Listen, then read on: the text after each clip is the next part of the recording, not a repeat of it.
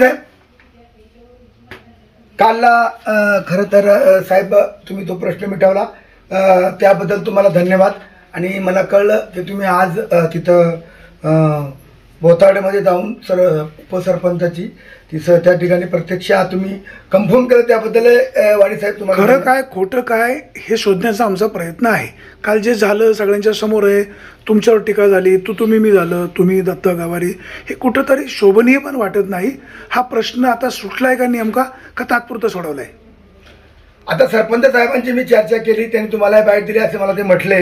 परंतु मला वाणीसाहेब या गोष्टीचं दुःख वाटतं का तो प्रश्न खरं तर तो ग्रामपंचायतीचा होता. माझा त्याच्याशी काही संबंध नव्हता. ते ग्रामपंचायतीने मी सरपंचाकडून माहिती घेतली तुमच्या मतदारसंघात घडले मतदारसंघातला आहे वाणीसाहेब पण जवळजवळ सहा लाख रुपये थकीत आहे. मागं माझं सुद्धा घरातली लाइट कट केली एमएससीबीनी मी जिल्हा परिषद सदस्य असून माझी लाइट कट केली हा राज्य शासनाने काढलेला जार आहे आणि त्याप्रमाणे ती सरपंच साहेबाकडून मी डिटेल माहिती घेतली. सहा लाख रुपये त्यांची थकीत आहे. त्याच्यातून बऱ्यापैकी सकाळी त्या जे काल मोर्चेकरी होते त्यांच्याशी बैठक घेतली आणि ते त्यांचा प्रश्न सुटला. मी म्हटलं होतं बी साहेब प्रश्न सोडणारे पण मला वाईट या गोष्टीचं वाटतं वाणीसाहेब का ज्या लोकांचा काही संबंध नाही उदाहरणार्थ तुम्ही नाव घेतलं ते मी ते काही नाव घेत नाही त्यांचं. परंतु ते अं, गवारी का कोण हिवऱ्या भवारी काय माहीत नाही. पण त्या गवारीने तिथं येऊन ते अं, पेटवा पेटवी चिडचिड लोकांना भडकवणे. प्रत्येक नागरिक एखाद्या ठिकाणी काय अन्याय होत असेल तर तो मार्गी लावायचा प्रयत्न करणार ना प्रश्नच नाही वाणीसाहेब मी जिल्हा परिषद सदस्य म्हणून मी तिथं गेलो त्यांना पाणी मिळत नाही म्हणून ते आले. पाणी तिथं स- बोर आहे तिथं सगळं हापशे आहेत. एवढे हापशे आहेत वाणी साहेब तिथं बोताड्यामध्ये प्रचंड पाणी आहे. परंतु विनाकारण आपल्याला कुठे कोणी विचारित नाही. आपण कधी समाजासमोर नाही पाच वर्ष कुठं होत आहे हे कोणाला माहीत नाही. आणि एखादा मीडियावाले कुठेतरी जमले असतील एखाद्या ऑफिसपरी तिथं जाणे मध्ये मध्ये तोंड घालणे. आणि अशा माणसांनी हे करणं वाईट वाटतं. आता मला माझा थोडा वाणी साहेब चिडका स्वभाव आहे. तो मध्ये आला तो दत्ता आणि त्याला काय कळतं तो अजून ग्रामपंचायत सदस्य पण झाला नाही. तो विषय वेगळा आहे हो. ते ग्रामपंचायत सदस्य होतील नाही होतील राज्याचे मुख्यमंत्री होतील पण- प्रश्न असा आहे जर एखाद्या महिलांवर किंवा कुठल्या समाजावर अन्याय होतोय असं वाटलं तर एखादा माणूस नेतृत्व करू शकतो ना? ते आम्ही पण करू शकतो. वाणी साहेब त्याला ग्रामपंचायत सदस्य झाल्यावर कळल. घरपट्टी भरावं लागते. ग्रामपंचायत चालवायला. ग्रामपंचायत कशावर चालते? घरपट्टी करवसुली पाणीपट्टी हे सगळं जर भरलं तर ग्रामपंचायत चालते. ग्रामपंचायत बंद होईल. मी चौकशी केली ब- उत्तम शेटकडं उपसरपंचाकडं. ते म्हणले "अहो, आम्ही अजून शिपाईचे पगार दिले नाही बिडू साहेबांनी ग्रामसेवकचा पगार थांबवला आहे. ह्या साऱ्या गोष्टी अडचणीचे. देवरामजी लांडे एक प्रश्न शिल्लक राहतो. काल बीडीओ असं म्हणाले होते की पंधराव्या वित्त आयोगामध्ये ही ग्रामपंचायतीची जी लाईटचं बिल आहे त्यातनं भरण्याची प्रोव्हिजन आहे. वस्तुस्थिती नेमकी काय? ती प्रोविजन आहे वाणी साहेब पण तशा प्रकारची जर ग्रामपंचायत थकीत असेल तर तसं ग्रामसभेने ठराव करून साहेबांकडे मागणी केली पाहिजे. बिडू साहेबांनी त्यांना आधार दिला पाहिजे. आणि ते होतंय.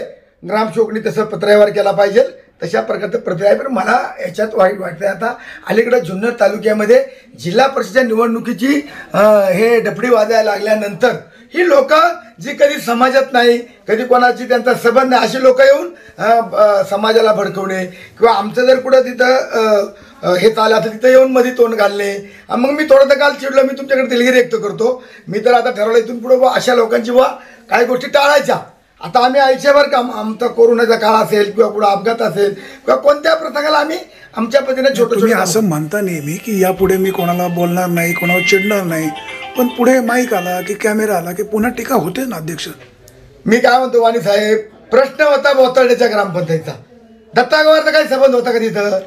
ते भारताचे नागरिक आहेत. नागरिक आहेत पण ते काय म्हणा मी तर उपोषणाला बसवून घरपट्टी भरले आणि सगळं नील असून पाणी कट केलं. त्यांची माहिती कदाचित अर्धवट असेल लोकांनी पण सांगितलं असेल. मग माहिती असली तर बोलावं आणि साहेब. मी काय म्हणतो माहिती नाही आणि काय नाही तुम्हाला उमेदवार व्हायचे असेल किंवा रा- पुढारी व्हायचं असेल तर माहिती घेऊन व्हा.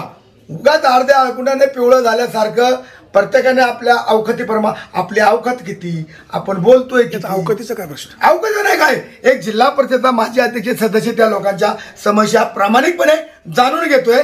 आणि आपण मध्ये मध्ये तोंड घालून काहीतरी लोकांना भडकवणे किंवा हे हे चुकीचं आहे वाणी साहेब त्यांना माझा सल्ला राहील दत्तागावऱ्यांना बाळा तुला पुढारी व्हायचं असेल तर कामं करा.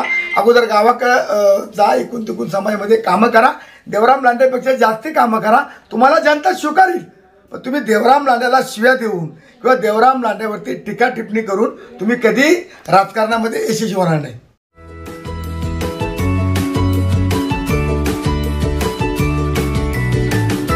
बातम्या शेतीच्या बातम्या मातीच्या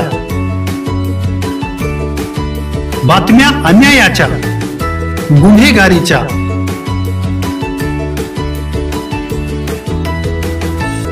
राजकारणाच्या आणि समाजकारणाच्या.